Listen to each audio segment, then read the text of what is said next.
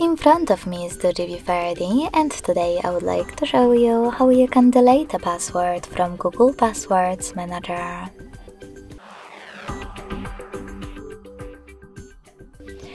Begin by opening settings and hitting passwords and accounts.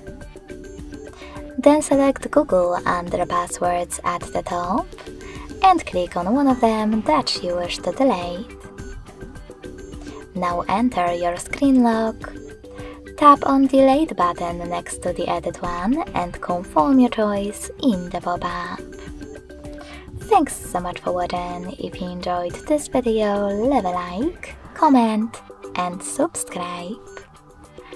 Bye!